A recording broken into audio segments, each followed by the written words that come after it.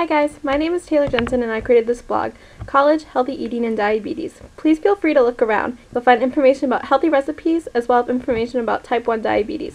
Thanks for looking. Have fun cooking.